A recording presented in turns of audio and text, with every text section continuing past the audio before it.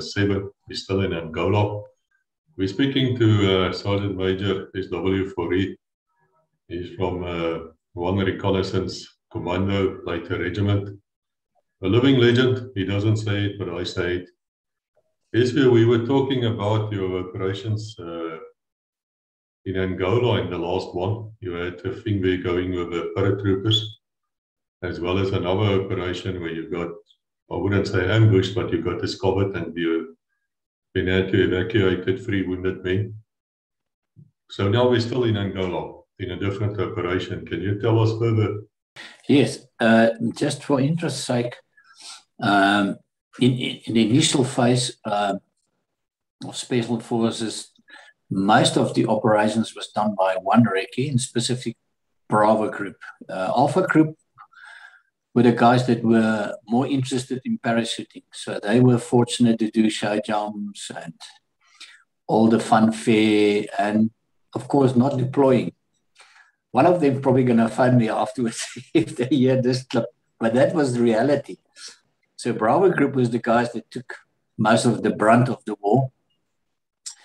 Uh, and then, of course, five was up at Ondongwa, which is in the northern part of Mabulat, uh, part of Namibia. And then four were down in Langebaan. There were guys with operational experience there, but a lot of them missed the war uh, because they completely qualified in a different direction which is attack divers. Uh, they were using as um, coxswains to deploy us. Uh, that we will come to that operations, and then uh, they did a lot of training in Langebaan, southern part of uh, Cape Province. Yeah, so not by their own doing that they missed the better part of the war. It was just they qualified in a different direction. So yeah.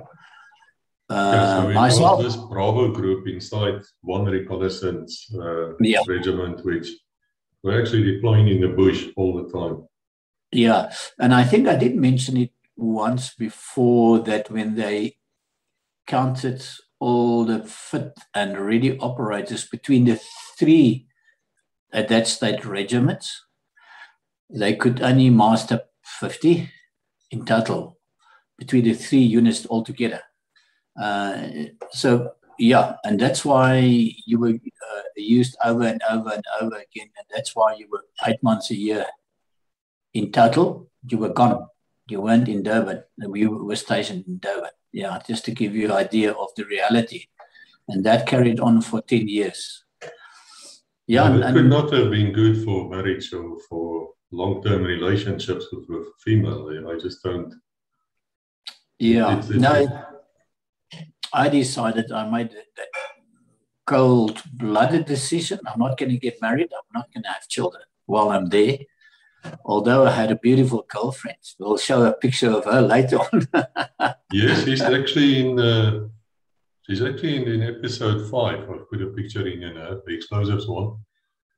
Uh, because you were talking about explosives that you could put a name on and then you shoot it out on a on a steel plate. You were talking yes, about something yeah, like that, and then. I asked you if uh, if you perhaps did make the name Michelle. Yeah. And then I'm not sure if you actually answered me or ignored me. No, I never uh, think that romantic. I picked a picture of her in there anyway. we can carry on our two other low profile operations. For me, it was low profile. We deployed, it was also the first and last one where one reconnaissance, also from Bravo Group, we deployed uh, far north of um, Ondongwa. Ondongwa is in the northern part of Mabulat, which is the northern part of Namibia.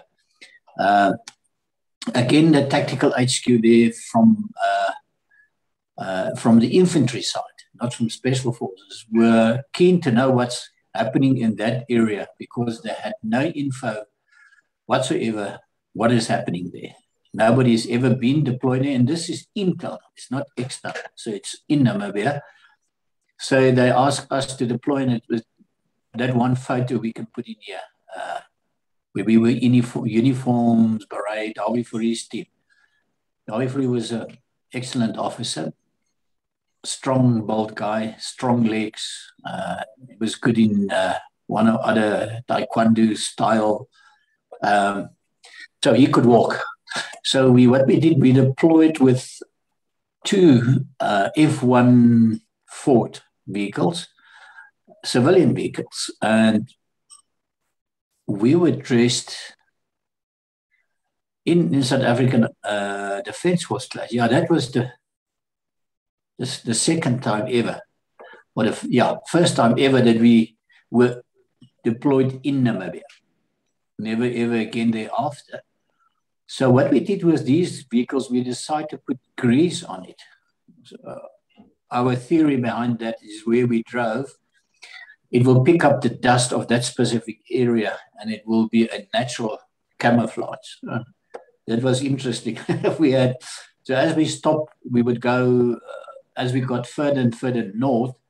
We would stop at a kraal. A kraal is this where the locals will be. They would be fenced in by wooden droppers, and they, they will have two or three, five huts inside. That's what we call a kraal. And then we would stop there, get information. And I remember we stopped there at uh, one of these kraals. One of the guys, the youngster, come and he talked to us, and he was leaning against the vehicle there, and there he was on his back. he hit the the deck because now, of course, he was lying against the grease, and that was that. I'm smiling about that. I can just imagine.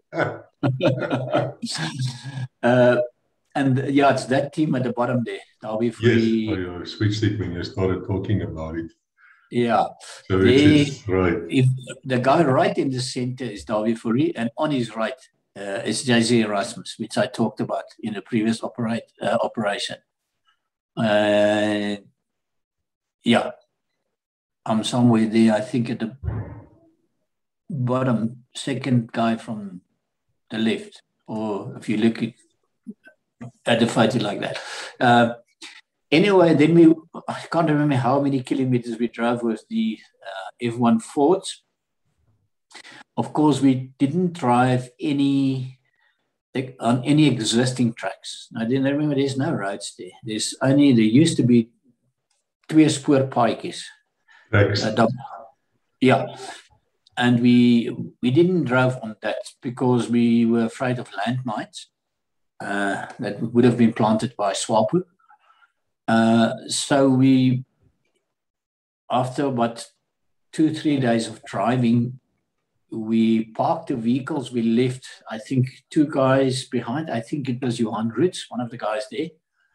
And another guy, we left him with the vehicles and we walked another two days. Now, a guy like Dawie Fourie, he can pick up the pace. so it wasn't like a quick 10 Ks, you would walk starting early morning, have a quick break somewhere midday, and then walk till night time. So we must have put 100 Ks on in that two days plus. Uh, flat terrain, easy terrain to walk in. Um, so. But once again, you're carrying quite a few kilograms of equipment. You're not there uh, just throwing around. Yeah, we were actually most of the equipment we left on the vehicle. Uh, so we were had uh, rats and a sleeping bag for two days and water for two days, actually for three days, because we had to turn around and come back again. I think eventually we called the guys with the trucks to come up more north, because then we realized there is nothing going on there. It was quiet. There was not no tracks, nothing. And we went back, and Dawie Fourie went to the uh, oper- operational HQ for Sector 1. There was different sectors. That sector was Sector 1. Uh, Rundu, for instance, uh, was Sector 2, and something like that. So he briefed Sector 1 and for them, they were so impressed with our, in such a short time that we could get that far and could do reconnaissance and come back and tell them there's nothing going on there. Uh, for them, it was unbelievable that we could have done it so quick. They thought it would be. I ask you, when you walk a patrol like that, are you in your usual formation, which I think you call the yes. scorpion or something? yeah, Scorpion formations, two guys in front, the scouts, then the, uh, for instance, Dawie, team leader, then one or two guys. Now it's two, four, six, and then two guys that will form the tail, either side, left or right. Uh, Where would the machine gun be? Where would you then put the, um, light machine gun, which presumably you had with you, an RPD or something? Normally, uh, close to the team leader. Um, yeah, and I also ended up carrying the RPD quite a lot. So I used to be more loaded than the rest of the guys. No, no, why I ended with the light machine guns, and then of course not always with the radio, but a lot of times with the radio, which was heavy. Um, yeah, so they were highly impressed with our quick deployment, and, and they expect us a month later, and we within a week or so we were back with the information, and they were stunned to see how far north we went. For us, was a very boring operation, but yeah, for them it, it, it was a lot of information that they needed to know what's going on there. So they knew that they don't have to concentrate any infantry up to where we went, to the northern part. Um, then we can go to an operations where uh, I think the first one ever and the last one where we actually left booby traps behind. Um, we it was in and Angola. Uh, we there was a lot of uh, truck movement and truck movement. It's army trucks. So there must have been a base not very far from them. It was a road, so they deployed us there um, I think if I remember correctly, by Puma helicopters and a, a, long distance from the road. So we probably walked another 50 k's or so. And then we were lying ambushes right next to the tar road. And what we did, uh, I think we were a 10 man team, which is bigger than the normal size of six or eight. Uh, we had, um, we would line, line abreast linear to the tar road. And then we would put sticks in your arc of fire so that you know, remember, this is now fast moving vehicles coming past you, that you don't get carried away and follow it and then go over to your buddies on your right or left. So we would put thin sticks, and that we know is your arc of fire. If the truck goes past that, it's the next guy. Um, so we hit, we weren't there for very long. And then, of course, there were stopper groups at quite a distance from us, about a, close to a K. So they would be the early warning and they would tell us, okay, leave this vehicle, take this vehicle. This one, and then they say, okay, army truck with a fuel tanker. Uh, that's what we were looking for. Uh, so we hit them and I remember um, the the petrol tanker caught light, and it went nearly hit uh, the last part of of the ambush. Okay, so we took out that and the army truck, and we had shallow uh, trenches right next to the road because we didn't know what. Uh, you may hit these two trucks, and there's another two or three on the way, and they could sweep against the road. So we decided to booby trap our trenches. Uh, so what we did, we put anti-personnel mines right inside the trench, one or two. Uh, POMZ tripwires, a little bit up on the northern side of our trenches. And I think uh, Johan Roots took a M26 hand grenade and put it in a, a V-shaped tree and uh, the tripwire across uh, a small track behind us. Okay, that's where we left it. And I've, uh, I'm not sure, but I think, yeah, there was feedback that uh, we did kill a couple of guys of the soldiers, that they swept that area. And uh, of course, uh, initiated one or two of the tripwires. Yeah. That was the only time ever that we used um, anti-personal mines because we we felt that we you never know we may end up in the same areas again. Uh, And you would all, not always remember exactly where you put these active personal mines. So we never used it after that again. I get that, and I just have to explain here that in Angola at that stage where you were operating, almost anything anything moving in the sense of a yeah. vehicle, a large vehicle is military. It's really not really it's got something to do with the military. It wasn't like a booming economy with uh, civilians driving around. Yes. Yeah, it was mostly anything driving around there was military. And then, of course, it was uh, Eastern Bloc uh, military vehicles. No Western. It was Urals, Gazes, even Scania trucks. Uh, you use these things, uh, what do you think of these Urals and uh, the other Russian vehicles? They were built for the bush. They could take take a punch. Um, and then, of course, uh, a convoy like that would be uh, escorted by a BRDM. That was the nearly their version of our heart. Yeah, with a 14.5 millimeter uh, cannon in a turret. Uh, so that was one of the few vehicles that was actually armored. Uh, the rest was all soft skin vehicles, not, not like ours. Ours were, most of them were armored vehicles. Yeah, that, makes a difference in keeping casualties low. No, that's very true. That's very true. Okay, so so that's the only time ever which you remember where you use these uh, anti-personal mines and never again. Yes, yeah, we never used them again. For that matter, we never never left booby traps behind, like a bomb set or so.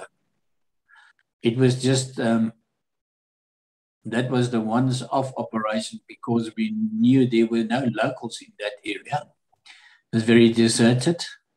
So there were no animals. So the only guys that's going to walk there is going to be uh, Fapla soldiers from, from Angola. Could yes, be even. That's, that's yeah. within the rules of war. That's not a problem. Yeah. Yes, correct. Yeah. Then we can start with another operation that was also um, uh, they decided that the southern part of Angola, we identified uh, roads that's been used very often by military vehicles. It's easy to pick that up. So, um, uh, probably coming, a lot of our operations come from Minister of Defense or uh, commander, chief commander of the army, mostly. Uh, so they decided these uh, roads need to be mined. Um, so we deployed, I think it was four or five different teams, uh, six in total again. So each, so we would have six up to eight mines in a team that you need to plant that night. And I, again, I must have been a youngster then in the team. I was the guy that had the heavy part of uh, digging a hole for the landmines. Oh, and I think it was a little bit of a slip up. So they just, uh, the team leader decided, I need to plant all the mines. So, and it, it is heavy work. The first one is okay. A lot of the ground is, is solid hard. So you know, you have to hit it with a, the axe and um, uh, a chisel kind of thing.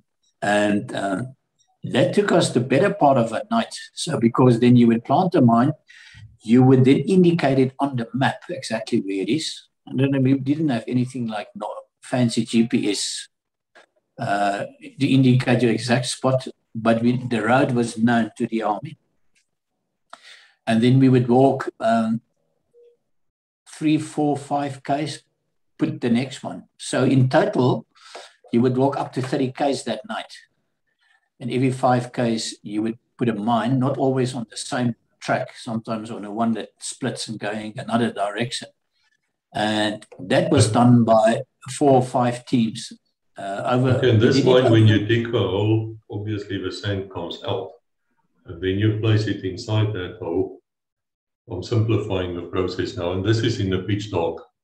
And then you yeah. um, put the sand which which has come out of a hole, you put that over it, and you just, I suppose, scratch it with your hand so that it looks like it's there's no hole there. Yeah, then you, you blow it, you put leaves on it, you, you try to assimilate the, the vehicle track that was there. Um, and that carried on for about four or five days where we would deploy they will pull us out deploy us the next day in a different area. So a lot of land landmines were planted there in that specific spot. These um, captured landmines were russian types or i think it, south african um, landmines.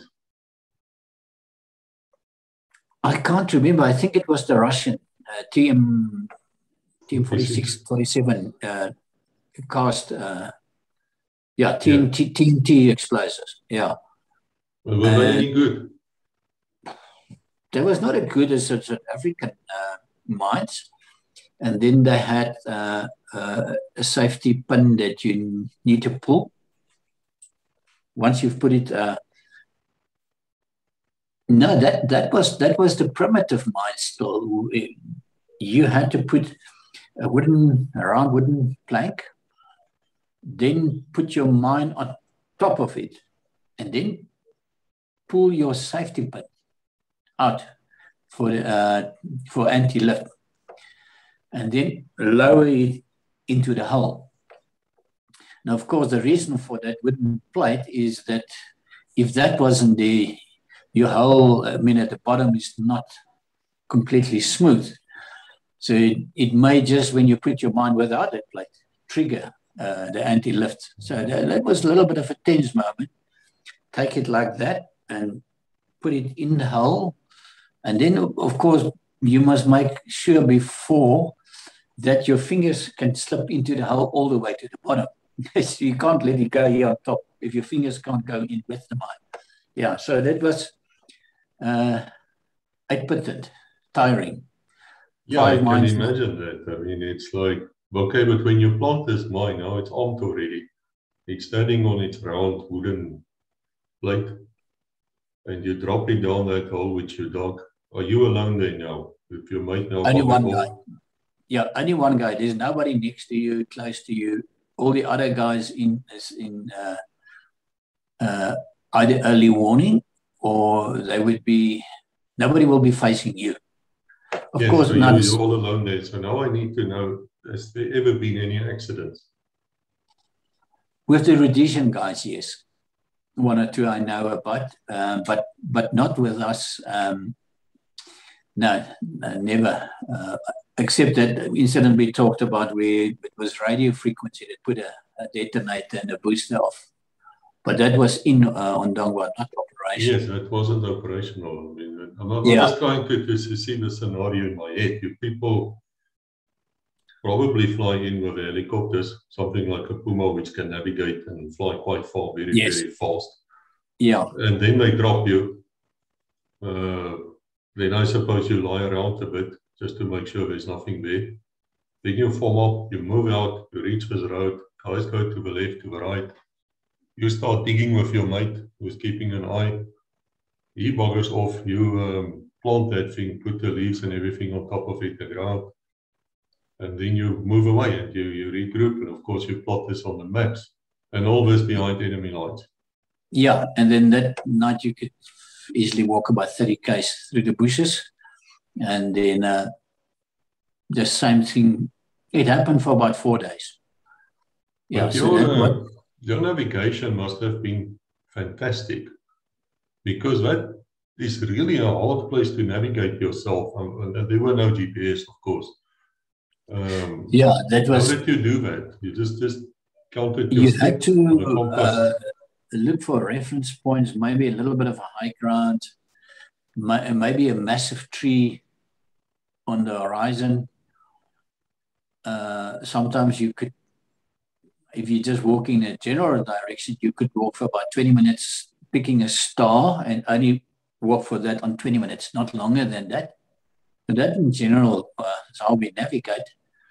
And then, of course, you have to be uh, uh, designated to navigate. The rest of you follow and look around for yeah. the enemy. Yeah, and then also uh, we uh, had each guy a compass uh, that you had, and, and each guy had a map as well of that specific area where you're going to deploy. So with anyone of of, could navigate. Yeah, and with a couple of reference points on that, so which you more or less know if you see this one, okay, you are here on the map. Uh, but we didn't have any fancy. We once had a, a, a device that we could uh, communicate or track a satellite, but it wasn't practical. You could only use it about once or twice, then the battery was flat, and it was extremely heavy. And I think we only used it once or so, and that's it. Well, the old ways worked. I mean, you got where you wanted to go and you reached your targets and you destroyed your targets. Yeah, uh, and, and, and normally uh, you would know that you were right with where you are if, if the choppers come and pick you up or uh, for one other reason have to come there in the area. And if they fly uh, spot spot on to where you are, you know your, your navigation was, was spot on. Okay, this is interesting to me. Perhaps we should just ask a question on that. I do recall when Ewan Doustein was working with Renamo and we had the parachute accident and all those explosives started raining around you. Episode two or three, I don't know. How would you call in a helicopter? Uh, let's say you've established contact now with head office. They say we're going to pick you up by sending in the Pumas or whatever. Uh, what would happen from the time that you can actually hear that thing or see it? What, what's the procedure? Okay, yes. What, what you need to do, and especially we did that quite a lot in, in um, uh, Mozambique, is you have to prepare an, an LZ. Now, we had a very thin, uh, razor sharp, it looks like a piece of wire, but it had hooks. And on each end was a grabbing, you could grab onto that.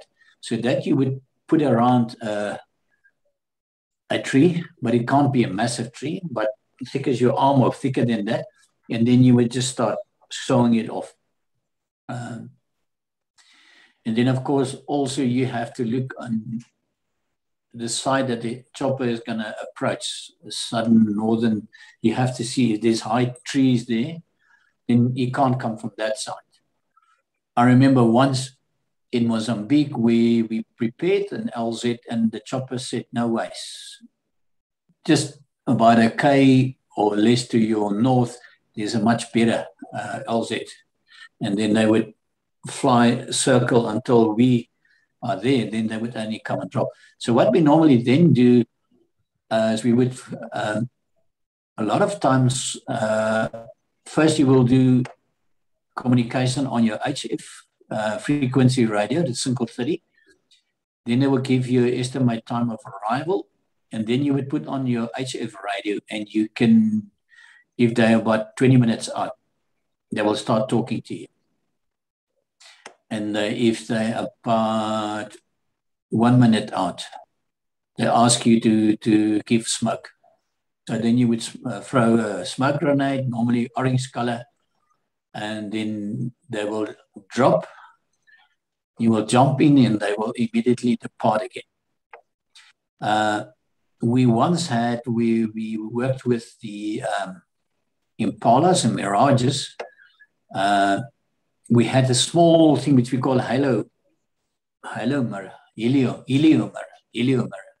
It square like this with a hole inside and you would look directly where you hear the plane or can you think where the plane is and then you tilt it back and forth, back and forth. So, the, and they will pick it up, uh, the reflection from the sun. And I remember once uh, a Mirage pilot, two of them, it was high up and they just went higher and higher as we talked to them. And we all eight of us were using just helio mirrors. And then they said, no, but we can't come closer. There's anti-aircraft down there. so it was actually our helio mirrors that yeah. we saw. yeah, it's a signal mirror. I'll put a picture here on it. You, you find it yeah. often in survival kits with pilots as well when they drop. Uh, and then it uses the sun and it's extremely bright. You can see it many, many miles. Yeah, and then uh, we also had a um, Dayglow piece of Dayglow. It was just like a piece of pla- plastic, either uh, like the color of your shirt or Yes, white. Orange. Yeah. And ironically, we once tested it with the Impala pilots, and they said they pick up the white one easier and at a higher distance than the orange one. So it was Yeah, for us nice to, to know that before, and you rather take the white one. I recall in the police, in the counterinsurgency units, we had like day glow inside our uh, camouflage hats. And so what you do is you would just flip your hat upside down and then the day glow is on the top. Yeah. And the idea was when the, the gunships can then see who's who there. Um, how well it worked, I don't know. I do know you sweat, you sweat it a lot because it's a solid piece of plastic now, right on top of your head. I think that's where I lost my hair. Yeah, I've got to blame somebody. and just for you who's watching, uh, SW has got about 10 years on me. So, yeah. Can you just quickly explain? You did it in Afrikaans once and probably somewhere. What's the difference between a LZ, a landing zone, and a drop zone, a DZ? yeah, LZ is, is where they physically come and land at a So it's for Pumas or, or helicopters, the others. drop down. Yeah, a DZ could be either where paratroop, paratroopers dropped or when you do a resub like we did with RENAMO. That would be a DZ dropping zone, yeah. So I, I understand that. Uh, Yeah. If if this helicopter approaches at night, uh, they also didn't really had any FLIR or infrared. That came much later after the Bush War ended, I think. Um, I know about one operation where you people were using night vision. We we will talk about that. That was that attack on uh, on some bridge. We'll get to that. Um, these pilots, they, they, they weren't flying with any lights on or anything. They were darkened out. They're coming just above the trees. Uh, very, very good piloting skills. Okay, we're continuing here. As you will note, I'm sure I'm wearing a different shirt. Uh, the recording is 24 hours later than what we stopped two seconds ago. That's a wonderful thing about editing. Uh, yesterday was a strange day in South Africa. Still is today. Country is burning and we can only hope that things will go back to normal. Isha, over to you again. Uh, we, we- finished with all the, well, we finished with nothing actually. Now you can carry on with it. okay, great. We, we're back in uh, southern Angola, and now we start to do a certain kind of operation more and more, deploying by vehicles. Uh, this time we will deploy with, um, it's just basically Unimogs, the German manufactured, which I classify as one of the best uh, 4x4 uh, vehicles, although it's if it's a bumpy terrain, it, it tends to bump. Uh, so it's not that uh, the, the coils are not that rigid. So it, it goes like like driving over a lot of bumps. But it, in a, it's a vehicle that can take the punch. Uh, so we deployed the the purpose was again to uh, train UNITA, not special forces, just in general, and they allocated about I think about 12, 20 UNITAs to escort us. Um, and so we drove with the vehicles for quite a distance. I'm not sure how deep we were into Angola, but was, it was in the southern part of Angola. Um, simultaneously, we had to uh, look for enemy and then ambushes and attack them. Um, we also walked in night in the night, and, and I remember one night we split up, and the, the challenge we had is how are we going to find each other again because we split up in two man teams to do reconnaissance, and uh, the idea was to RV the same night again or during the early morning hours. So we had a challenge as how to find the other team again. And one of the guys came up with a brilliant idea. We had streamlight torches, quite a rigid one, with NiCad battery that you can keep on recharging.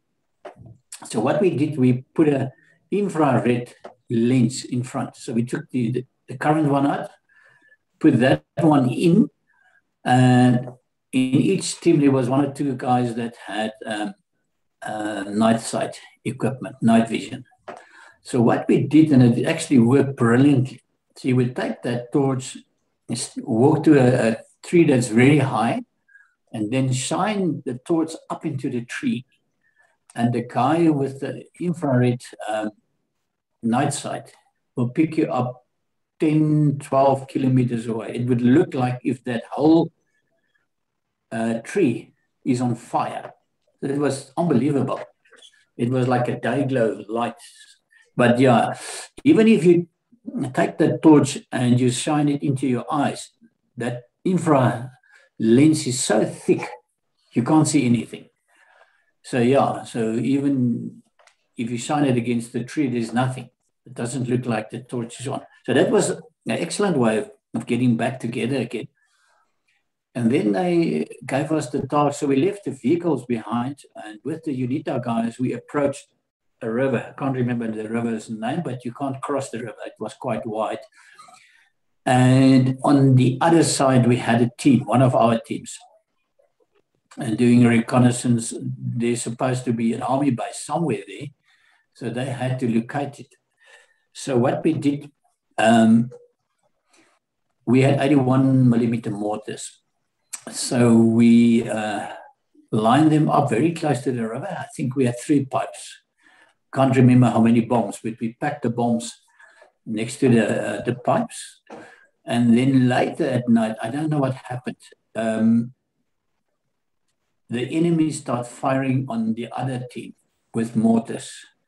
And but we we sitting on the other side of the river had a direct uh, line of sight to where they were firing, although you couldn't see them visibly. You could see from where the mortars were fired. So we changed our uh, direction of our mortars and we did a bombardment on them. Um, and we silenced them for a very short period. And then the next moment they picked, uh, there was another, it was a, a very big army base, which we didn't realize. So we were in a hornet's nest there. So from another position, another one that we neutralized, they opened up with mortars onto our position. And Kali Greiling told us to, uh, to pack up and we withdraw. And in the uh, what do you call excitement to get away from that specific area, uh, we left a base plate behind, and I think two bombs. And the next morning, when we actually uh, first light, we realized oh, we one base plate missing, and we were going into a, a RV there lying up, and then yeah, but an hour later, here's one of the UNITA guys with the two bombs and a base plate on his head. he arrived there. And it was um, funny how uh, they would carry equipment. For instance, uh, if we walk very far, they will have the our rucksacks on top of their heads. They walk like that. And even with that on their heads, you can't keep up pace with them. They're incredible fast walkers. And they can walk for hours. Yeah, so yeah, the guy picks up with our base plate and, and our mortars. And um, also, a funny thing that happened with that trip is that they resupplied us on the way to, to our target area. So myself and I think two UNITA guys took a, a, a Unimog and we drove about a, it's about a day's drive. Uh, thick terrain, difficult terrain. Uh, so they resupplied us and I took the, I can't remember if it, the resupply was done by, by parachute. Could have been. Uh, so I took out all the stock, I put it on a vehicle, and there was one or two bags which are hidden away under a tree. I don't know why.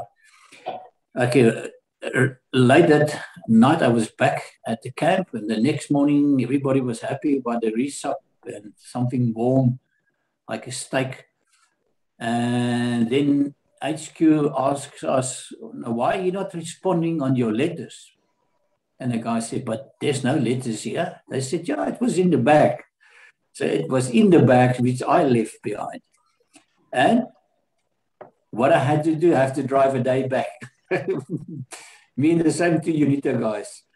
One day back, and uh, luckily I found the bags again. So only the next morning I arrived back with the letters. so I wasn't very popular. yeah. Okay, well, Esther, you know what? I actually kept quiet for nine minutes. Yes. I, I, will, I will, I will put in a picture of a Unimog here. I have a few which you've sent to me. Ones with the guns and the machine guns and things on them. Just so that yeah. people know what they look like. It's a certain age, of course. You still find these Unimogs, fantastic vehicles. And I don't know if you've seen it ever, but in the old days, before we had, well, even today, the, the navies of the world, they use searchlights uh, to communicate with each other. And sometimes they yeah. shine this thing right into a cloud.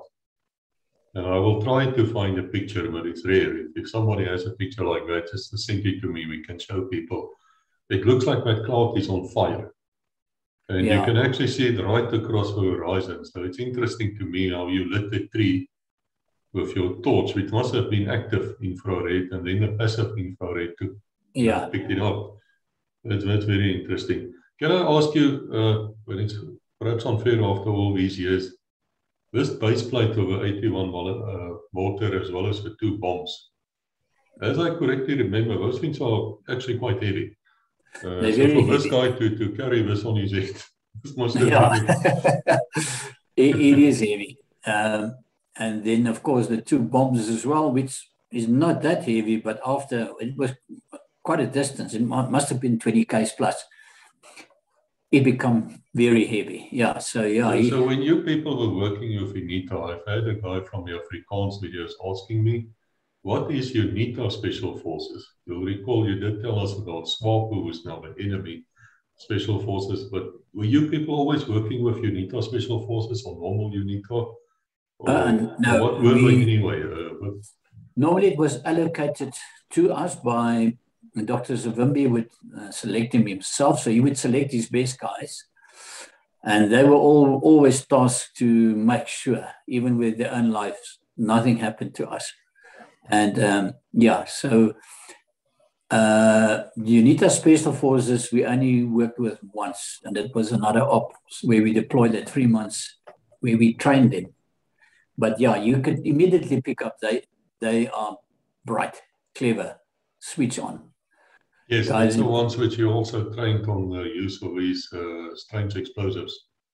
Yeah. The ones which, which we will we will get to that. Uh, Jonas Savimbi, perhaps you should just tell people who's who's Dr. Savimbi. They yeah, might Dr. have forgotten, you know, it's long time. Yeah, he was he was the leader of UNITA. He was a Christian guy, uh, pro Western, mm, uh, the same as FNLA. Well, they were both uh, pro-Western. FNR was dis disturbed after. There was actually an, uh, how do you say it? They did an attack on MPLA with the, uh, the assistance support of the South African Defence Force. That was in 75, 76. Yes, it and, was way north. They came out of Zaire on the Rolden Route. Yeah. What's interesting about them is they, they were armed with M16 rifles. Not like yeah, 47s. I saw in a few pictures the other day. Yeah, and, it, and and the coordination of the attack was was done by the defense force, and specific hour that South African defense force will attack. Some of the elder guys will give us more detail on what happened there.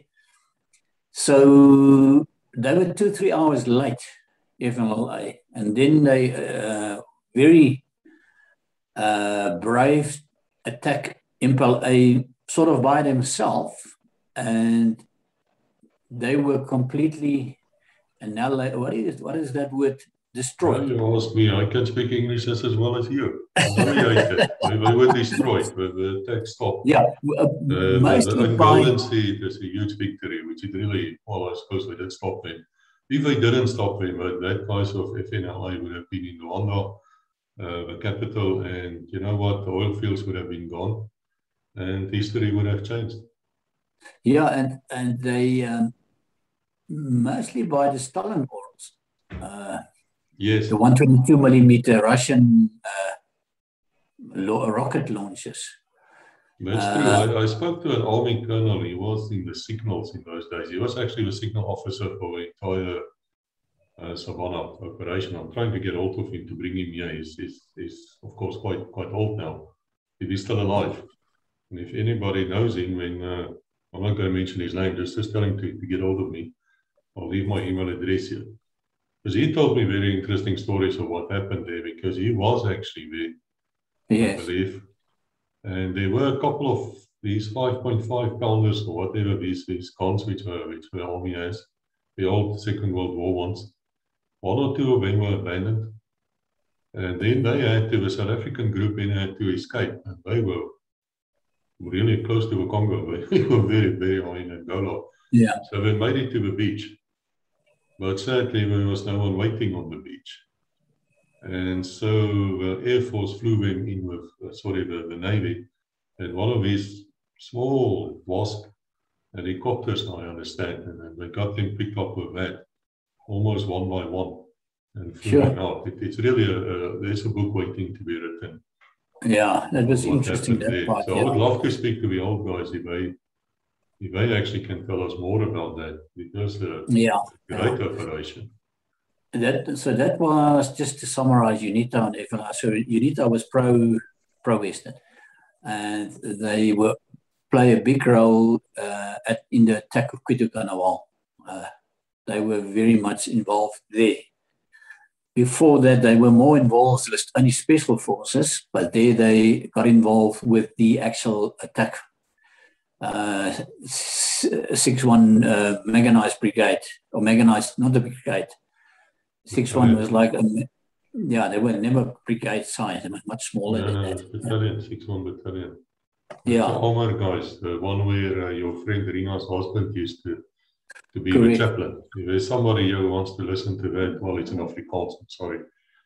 But they well well worth if you can understand Afrikaans in any way, go listen to that that video where we speak to a widow of a, of a chaplain of 6-1 mechanized battalion. Yeah.